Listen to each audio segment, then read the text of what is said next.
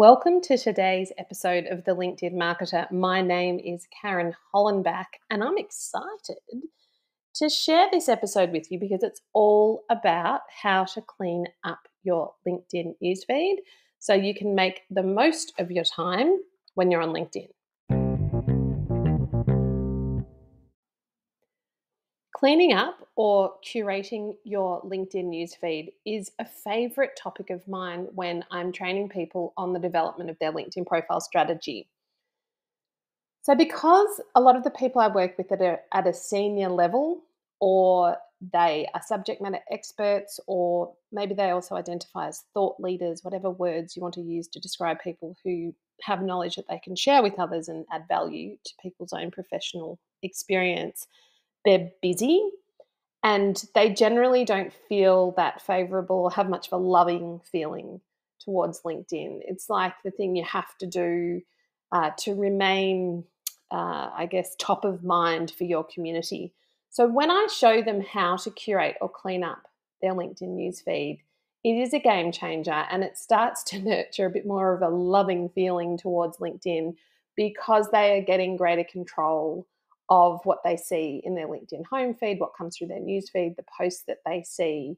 And it means that the time that they are spending on LinkedIn is time better spent because it's focused on their LinkedIn profile strategy in the context of the types of topics that they're interested in engaging with and the industry news that they're seeing. So today's episode is all about walking you through how to have that same uh, game changing LinkedIn user experience by taking better control over what you see when you're on LinkedIn.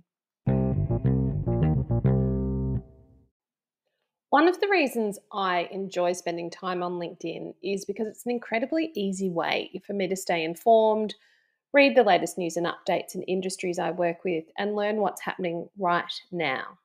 So from your LinkedIn profile newsfeed, and I'll probably interchange the word newsfeed and home feed. It basically means the same thing. When you're logged into your LinkedIn profile, you're looking at the uh, the updates from other people, either from your phone or your desktop. So from this place, you can like and comment on people's updates or in your network, accept invitations to connect, read great articles or newsletters. You might tune into audio events if anyone in your uh, network, your LinkedIn community is doing that uh, watch any informative videos you might have registered for events or LinkedIn Lives, cheer colleagues from the sidelines, which is one of my favorite things to do. Or you might uh, see a really interesting update and forward that content in LinkedIn messaging uh, privately to one of your connections. They might be looking for a new job, or it might be an article that they can weigh in on if it's in their subject area of uh, subject matter expertise. You can save posts, which a lot of us do if we are uh, content creators or we're we're responsible for the management of LinkedIn company pages, uh, of which we want it to find useful uh, curated content to share on that page that adds value to our community. Um, and we can save those posts if we just want to, you know, we're about to go into a meeting, we just want to read or watch them later. And there's also, you can put in hashtags in search. So there's a lot of ways you can well, there's a lot of things you can consume on LinkedIn. So the key is to have uh, refined, curated, cleaned up your newsfeed. So what's coming to you is relevant because LinkedIn is like a virtual library for industry news and it's an office corridor where you're constantly passing extremely interesting people and listening in or um, contributing to interesting conversations. And it's not like other more social platforms uh, where you can waste a lot of time scrolling through mind numbing information and fake news. So, we're going to learn how to take control of, or better control. You can't have full control because there are still going to be promoted posts coming through your LinkedIn news feed. Um, we're going to look at how to do that. And if you clean up your news feed and have a clearer sense of purpose, that's where your LinkedIn experience will improve significantly and provide you with the industry news, the global and thought provoking insights, the competitor intelligence, and valuable content you can save and then reshare via your profile or LinkedIn page. So, I'm going to walk you through seven simple steps to help you clean up or curate your LinkedIn newsfeed. Step one Establish a LinkedIn strategy. So, I want you to get as much value from your LinkedIn experience as possible. And it starts with a game plan. So, before diving into the process of cleaning up your newsfeed, consider developing a clear strategy for your time on LinkedIn. So, you can ask yourself questions like what do I want to be the go to for when people think of me? What are the topics or areas of expertise that I want them to uh, be familiar with or associate with my professional brand?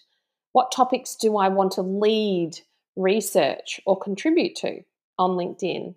And so, this strategic approach will help you focus on relevant content, making your LinkedIn experience more purposeful.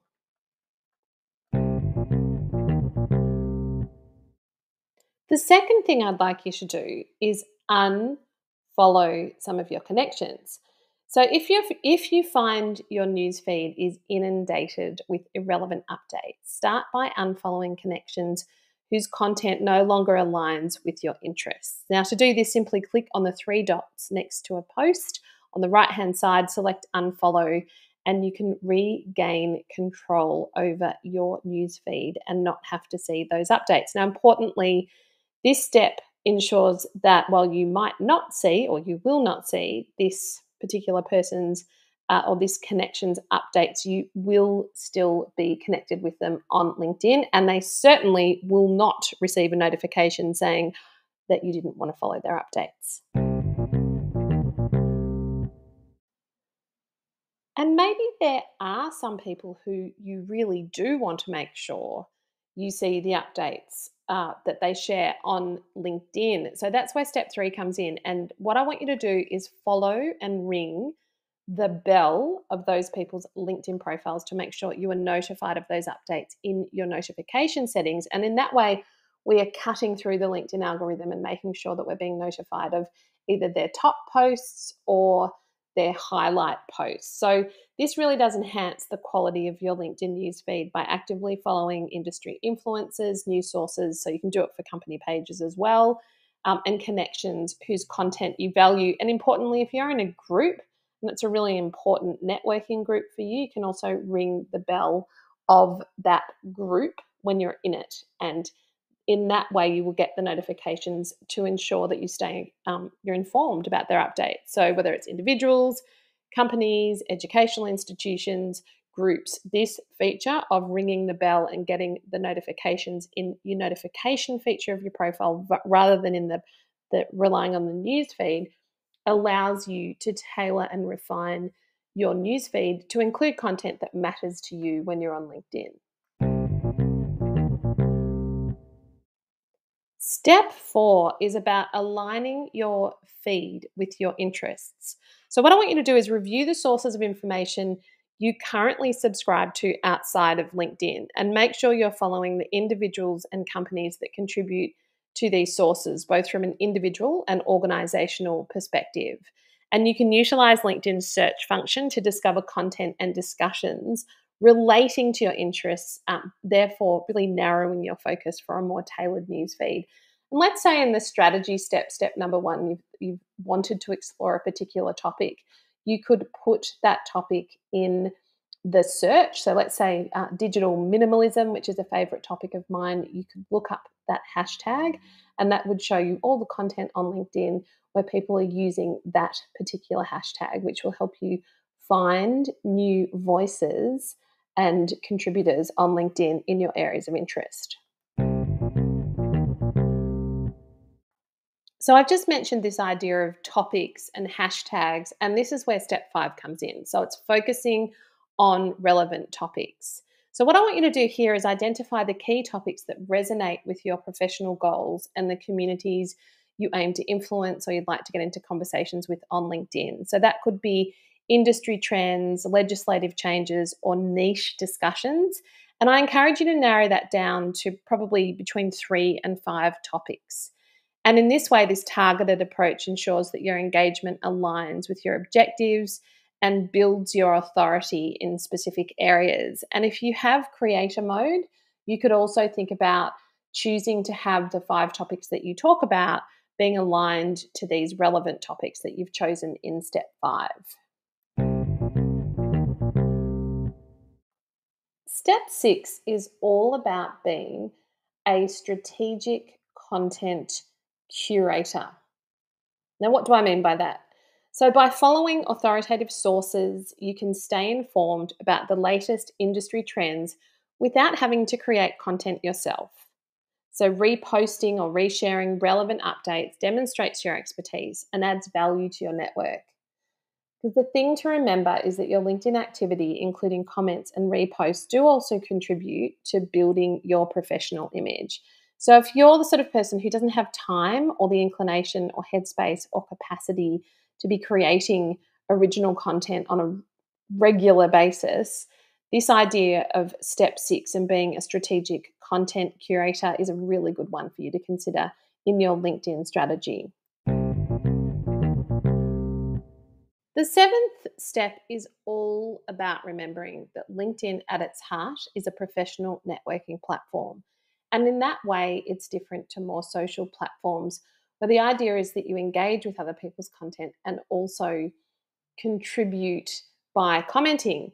So, this idea is to stay meaningfully connected on LinkedIn. So, after cleaning up your newsfeed, leverage LinkedIn by staying connected with your professional community. Yes, share value, valuable content on the newsfeed, but this step is suggesting that you also share it privately through LinkedIn messaging. And in that way, you can foster meaningful conversations. So I'm not sh- saying send salesy transactional messages. What I am saying is if you see content coming through your LinkedIn newsfeed that you think someone else would be really interested in, make sure you share it privately with them. So, whether it's a colleague's article or a resource relevant to a client, this personalized sharing approach strengthens your connections. There we have it seven ways to approach cleaning up your newsfeed on LinkedIn to enhance your LinkedIn user experience. So, taking the time to refine your LinkedIn newsfeed not only enhances your experience on the platform, but it also helps you engage with content that aligns with your professional goals. So it's a strategic approach and it reduces the pressure to create content while allowing you to stay top of mind with your network. So embrace these steps to unlock the full potential of LinkedIn for your professional goals. If you enjoyed this episode, please leave a review and share this podcast with your friends and colleagues. If you'd like to learn more about how to leverage LinkedIn, I'd love to be your guide. Sign up to my e Insights, my monthly newsletter that's packed with LinkedIn tips, thought starters, and exclusive subscriber offers. If you're just starting out on your LinkedIn journey, I'm so glad you've found me, and I recommend you check out my LinkedIn Profile Essentials online course. If you want to be the go to for your organization's LinkedIn presence, I recommend you check out my LinkedIn Marketing Mentoring Program.